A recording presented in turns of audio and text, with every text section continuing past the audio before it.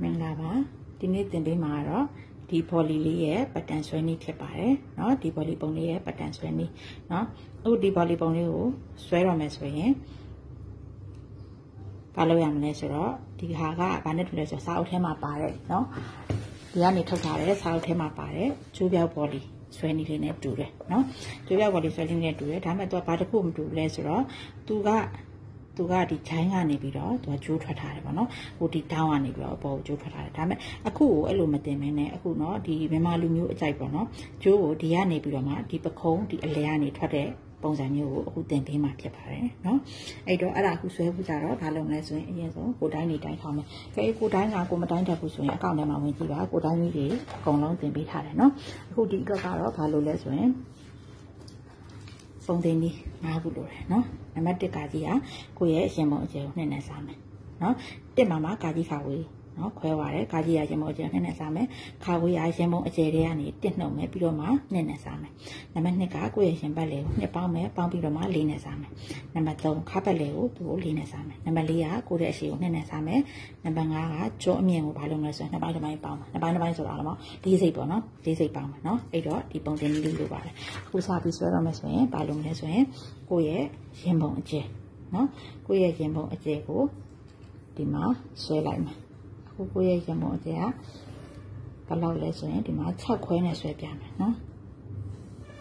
အခုဒီမှာ6ခွဲနော်အခု6ခွဲကိုတဘောဘောတော့ဘယ်လောက်လဲဆိုရင်320နော်320အဲ့တော့သူ့တဘောဝတ်မှာတဘောဝတ်ပြီးပါလို့မလဲဆိုရင်ကိုမဒီလိုမျိုးထောက်စုလေးရှိရမယ်နော်ဒီထောက်စုနဲ့ဒီမှာကိုလိုချင်တဲ့320ကိုဒီမှာမှတ်လိုက်ဟုတ်ပြီနော်ကိုလိုချင်တဲ့320ကိုမှတ်လိုက်မယ်အကိအဲ့လိုမှမမှတ်ချင်ဆိုလဲ ဒီမှာထားမယ်ထားပြီးရင်ဒီမှာ320ကိုဒီပုံမှာလာပြီးတော့ထောက်ပေးမယ်ဟုတ်ပြီနော်320ကိုဒီမှာလာပြီးထောက်ပေးမယ်ထောက်ပြီးတော့မှအေးရနေပြီးတော့320ကိုဆွဲမယ်နော်အခုဒီမှာဒီအစွမ်းကနေပြီးတော့ထားလိုက်မယ်320နော်ဒီမှာလဲသူ့ဝိုင်းပြီးရင်သူ့ဒီမှာလဲထောက်မယ်အောက်ကလည်းနောက်ထပ်တစ်ဝိုင်းဝိုင်းပေးမယ်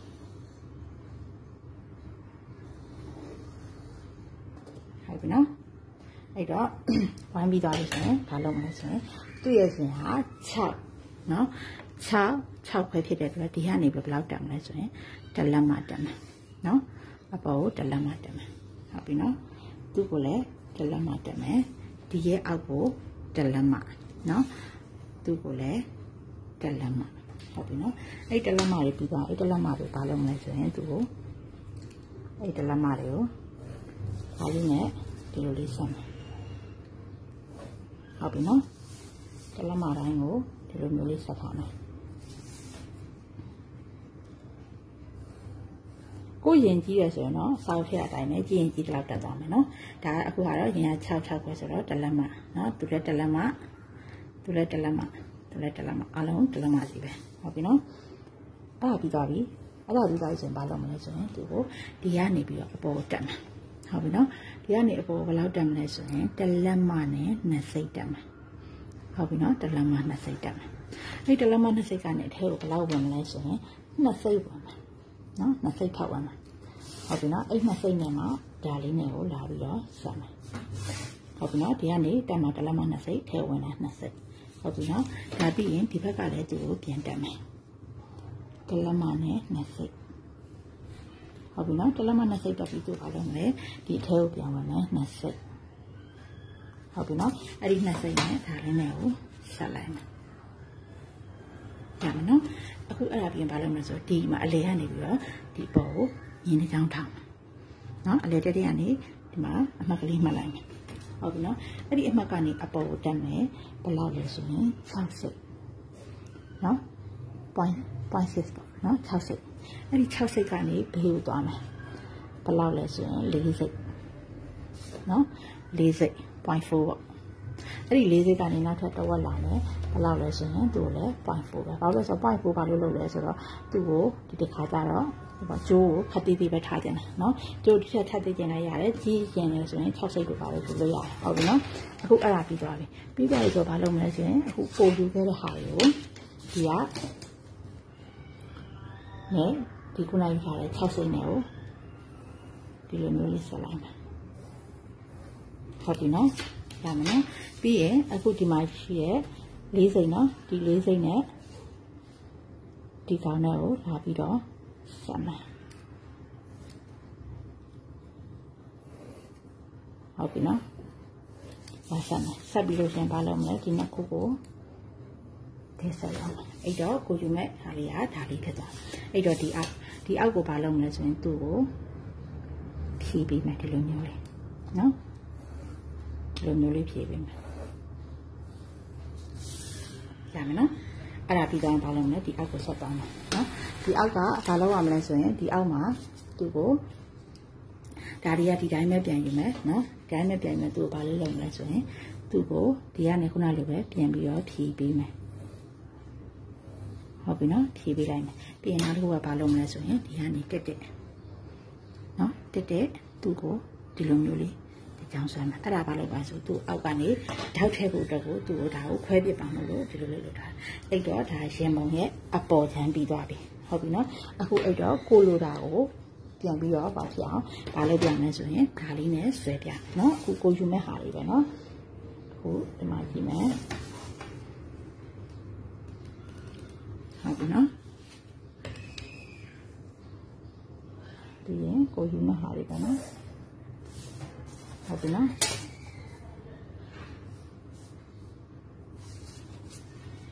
ဒါကကိုကိုယူမဲ့ဟာဒါလေးပဲနော်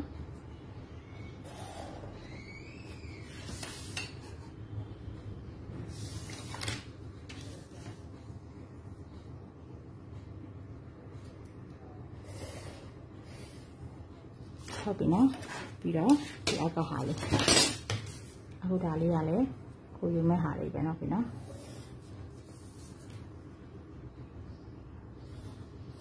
ဟုတ်ပြီပြီးရင်ဒါလေးပေါ့ဟုတ်ပြီနော်ပြီးရင်ဒီအောက်ကဟာကတော့ကိုခုနကယူတဲ့ဟာနဲ့ပုံယူမယ်အမြင်မှာဆိုလိုလေးတရားမျိုးဝိုက်ပြမယ်နော်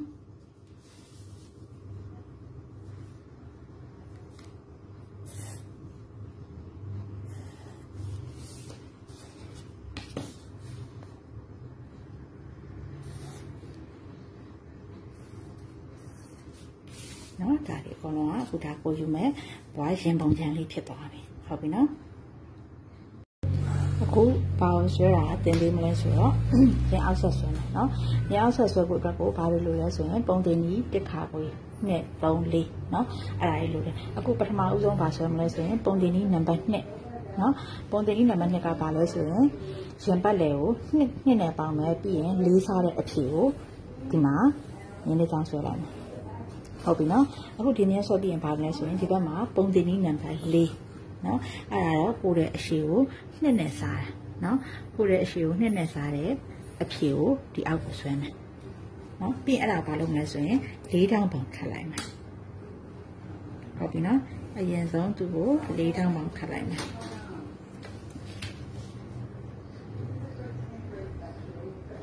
ဟုတ်ပြီနော်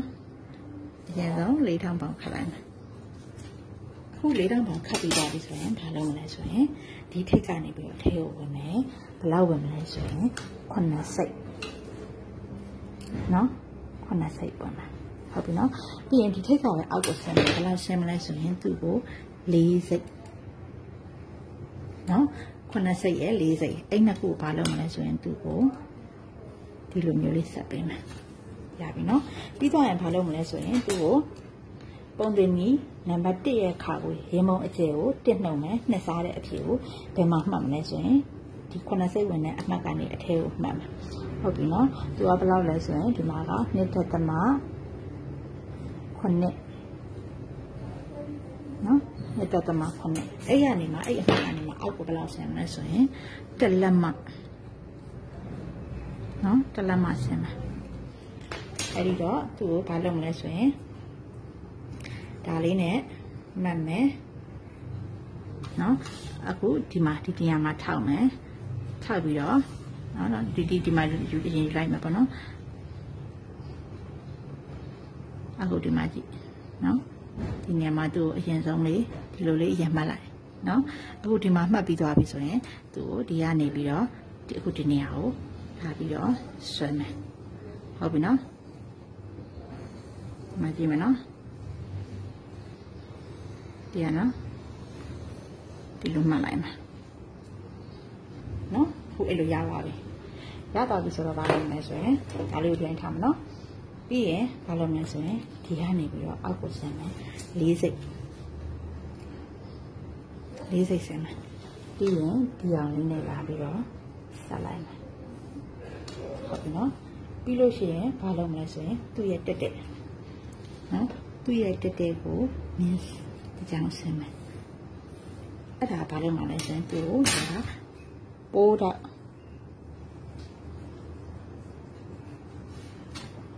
ပြီးလို့ရှိရင်အောက်ကဘာလဲဆိုရင်ခါပတ်လေခါပတ်လေကိုလေးနဲ့စားတာလို့မှတ်မယ်သူ့ရဲ့အဖြေကဘယ်လောက်လဲဆိုရင်ခါပတ်လေကိုလေးနဲ့စားတာဒီမှာ900နော်9လက်မအဲ့တော့အဲ့9လက်မနဲ့ ဒါလေးနဲ့ကိုလာပြီးတော့ဆက်လိုက်မယ်ဟုတ်ပြီနော်အဲ့တော့ဒါကကိုလိုချင်တဲ့အစိတ်အပိုင်းလေးပြီးသွားပြီနော်ပြီးသွားပြီဆိုတော့ဒါမှပြန်ဆွဲပြမယ်နော်ဒါလေးကအခုကိုယူမဲ့ဟာရယ်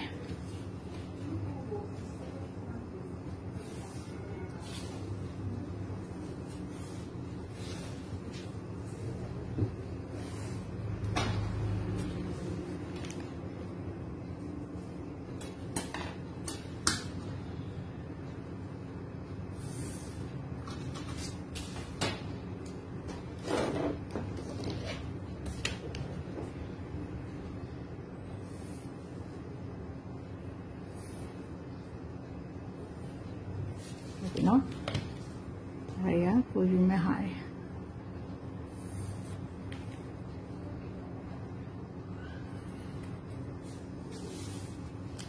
ဟုတ် ပြီနော်အဲ့တော့ဒါကကိုရဲ့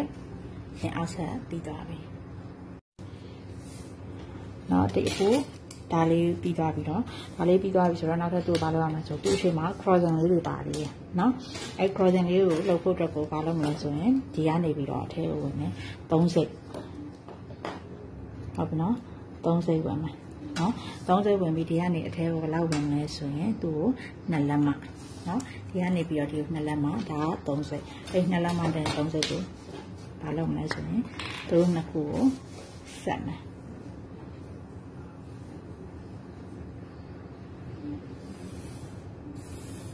နော်ပြီးတော့မှအခုဒီမှာကိုလိုချင်တဲ့ဒါညှက်ထုတ်ပြီးတော့ဒီမှာ crossing လေးတွေလုပ်မယ်ဟုတ်ပြီနော်အဲ့တော့ဒါလေးပြီးပြီဒါလေးပြီးပြီဆိုရင်ဒါသွားမလဲဆိုရင်အခုနောက်ကြောတန်းသွားမယ်နော် အခုနောက်ကြောတန်းဆွဲဖို့အတွက်ကိုဘာလို့မလဲဆိုရင်ဒီကိုအောက်ကနေပြီးတော့ညနေချောင်းတားလိုက်မှာနော်အဲ့ဒါကဘာလဲဆိုရင်ကိုယ့်ရဲ့နံပါတ်နှစ်နော်နံပါတ်နှစ်ပုံတင်နည်းကိုပြန်တွက်မယ်ဘယ်လောက်လဲဆိုရင်နံပါတ်နှစ်ပုံတင်နည်းကိုပြန်ယူတော့ရှစ်တက်သမ5နော်ဒါနံပါတ်နှစ်ပုံတင်နည်းကိုယူမယ်ရှစ်တက်သမ5 ဟုတ်ပြီနော်ပြီးရင်ဘာကိုပြန်ယူမလဲဟိုဘက်ကပဲပြန်ယူမယ်ကိုယ်ရဲ့ရှည်တစ်ဘက်ကိုပြန်ယူမယ်နော်ကိုယ်ရဲ့ရှည်တစ်ဘက်ကိုပဲပြန်ယူမယ်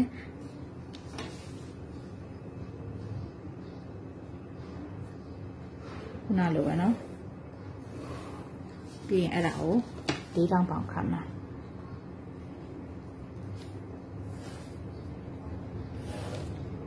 ဟုတ်ပြီနော်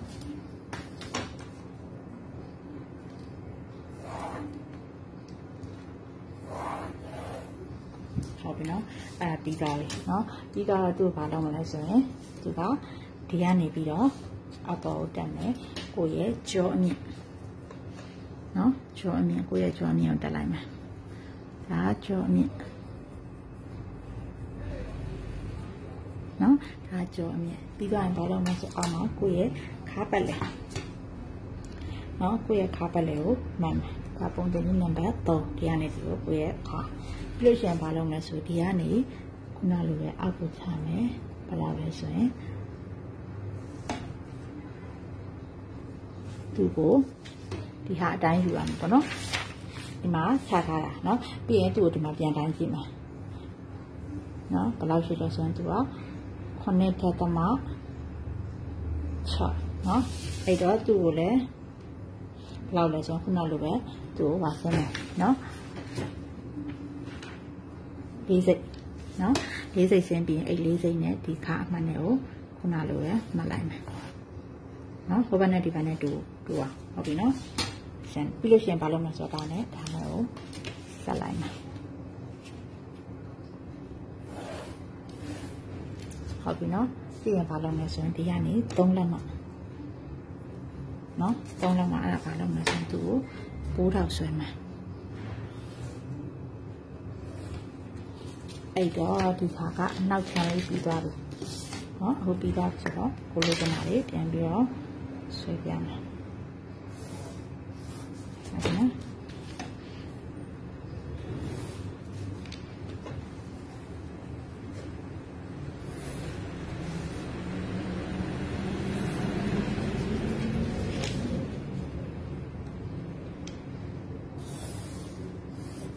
ဟုတ်ပြီနော်အဲ့တော့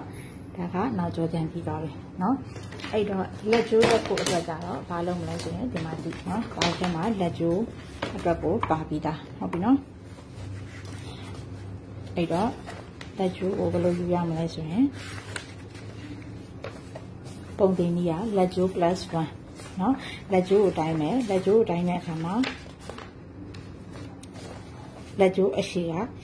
လိုတိုင်းရမလဲဆိုရင်ရင်ပုံထိတ်နဲ့နောက်ဘက်လက်ကျိုးတက်မယ်ကြောအမြင့်အရှိတိတိုင်းရမယ်ဟုတ်ပြီနော်အဲ့ဒါတိုင်းပြီးမှအဲ့ဒီတိုင်းလို့ရတဲ့လက်ကျိုးကိုတလက်မပေါင်းအောင်ဥပမာ14ရတယ်ဆိုရင်သူ့ကိုတစ်ပေါင်းတော့15လက်မနော်အဲ့ဒီတိုင်းနဲ့လက်ကျိုးကိုအရှိတစ်ခုဆွဲမယ်နော်စင်နာကတော့ဒီတိုင်းမှာဟုတ်ပြီနော်